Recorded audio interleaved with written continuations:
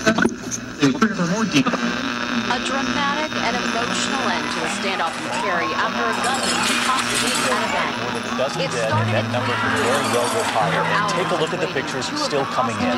First, the bomb blast tearing through the heart of Oslo, targeting government buildings, shattering glass, scattering debris. Holding his gun to the head of one of the hostages. The tsunami Snipers felt they had no and it's choice. quite a They shot him. devastation here.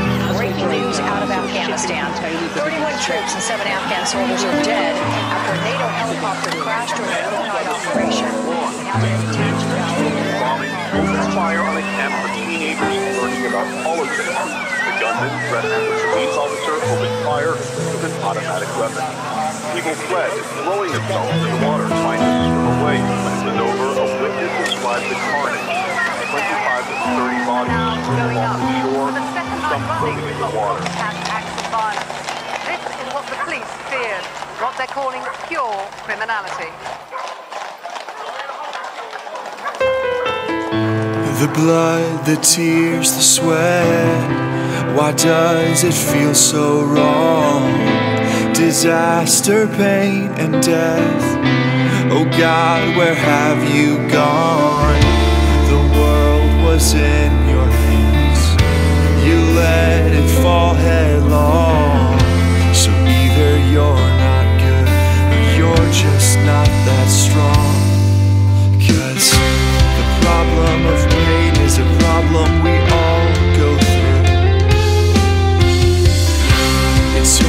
Us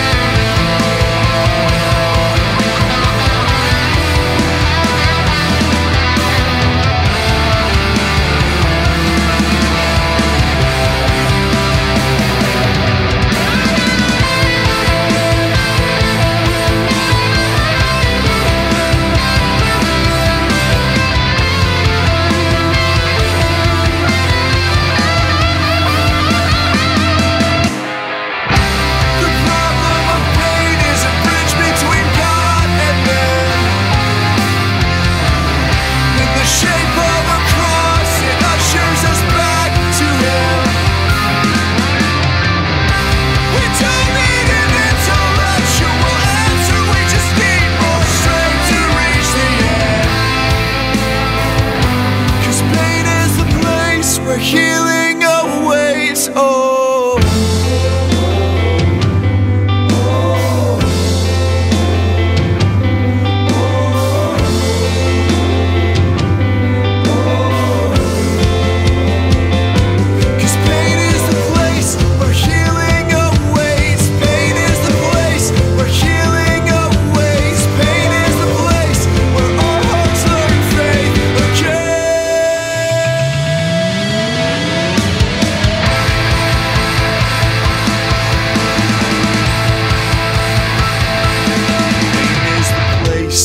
Our hearts learn faith again.